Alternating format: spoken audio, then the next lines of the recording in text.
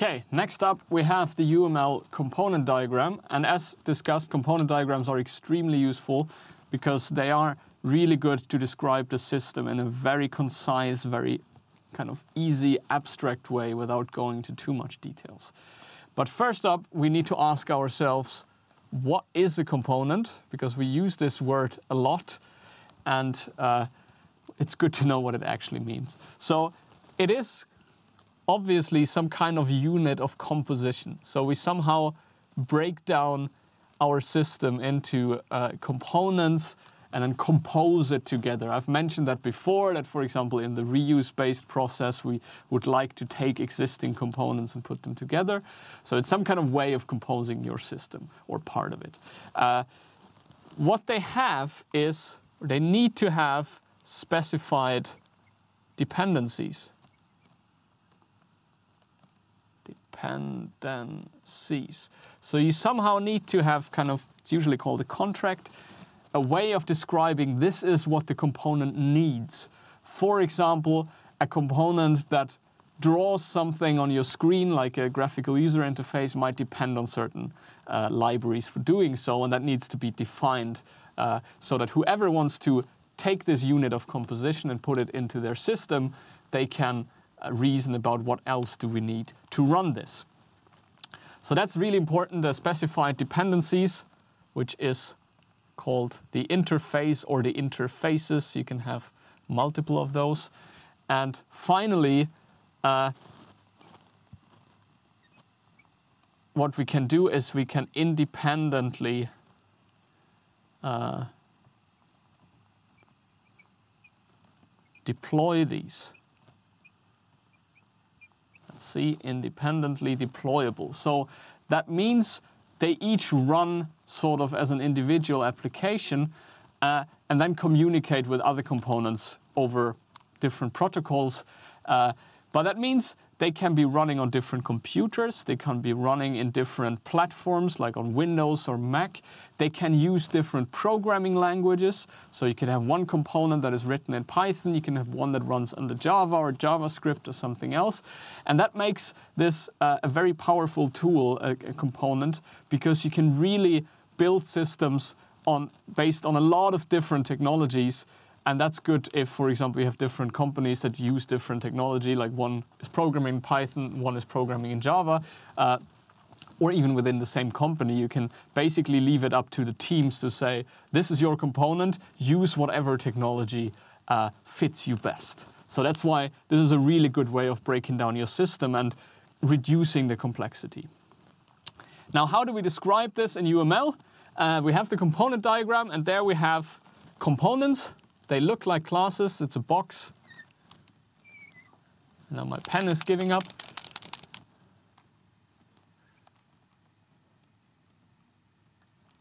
So we have components. For example, let's say we have the client. It's one component. They have this component stereotype, so the double quotation marks, the angled one, component and then the name, client, and then let's say we have a server. We don't go into details on what exactly they do. So we have another component, server, just boxes. And they should communicate. So what is about the dependencies? And here we use often what is called the lollipop notation. What we have here is the filled thing, that's why it's called lollipop. The server is providing something, is offering something. So this is a way of saying the server has some kind of functionality that someone else can use, and the client is requiring this functionality. It depends on it. So this is the dependency that we are specifying, saying the client cannot run reasonably without the server. The server does not have any dependencies, so it's fine uh, the client needs some. And then you write here that we are using this. So again, two angled brackets and use, whereas this is the provides statement. And then you can add a name here. You can, for example, say this is I server funct. that's just the name of our interface, so interface server functions or something. That's just the name we assign uh, that the interface is called. We could have more of those, so the client could depend on something else. The server could depend on something. For example, maybe the server needs to have some kind of database connection.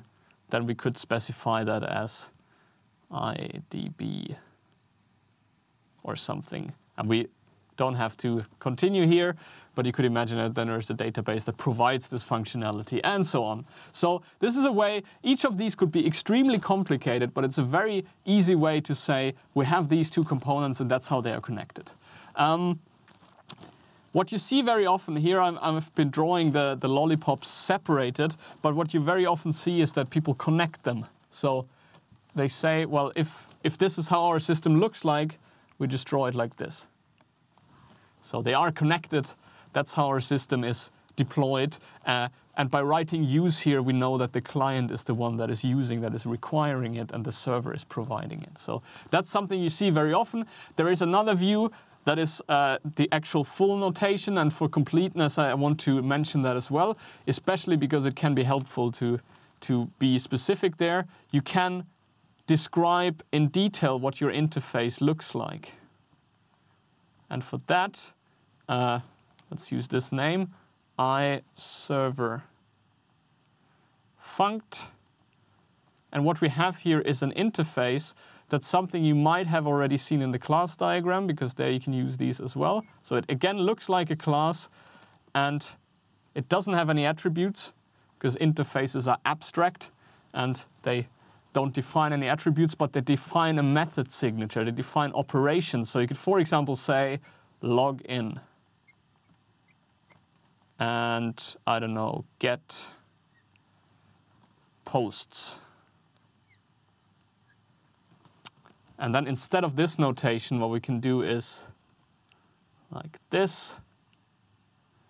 So we have an arrow, a dashed arrow with an open arrowhead and we have a dashed arrow with an empty closed arrowhead. And this means this one is using this interface, this one is providing it or implementing it. So this is the long, the explicit version of the small thing here. And the advantage is, of course, we are seeing exactly what is in that interface. What kind of methods do we need to implement on the server and what kind of methods is the client trying to call. So this is somehow the more explicit version compared to this. Uh, that's the original UML notation. This is the short version that is typically used in a lot of systems because it's much more readable.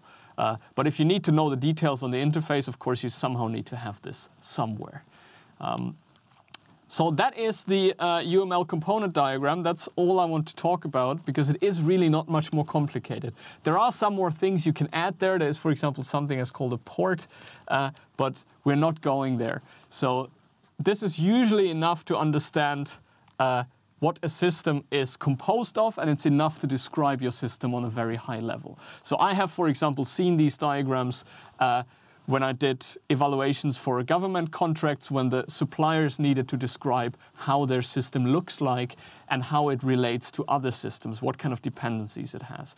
Then it's a very good way of describing your system without going into all the details, but enough for me as an external person to understand what the system is roughly composed of. So very common, and we'll definitely see them again when we get to the software architecture part of this course.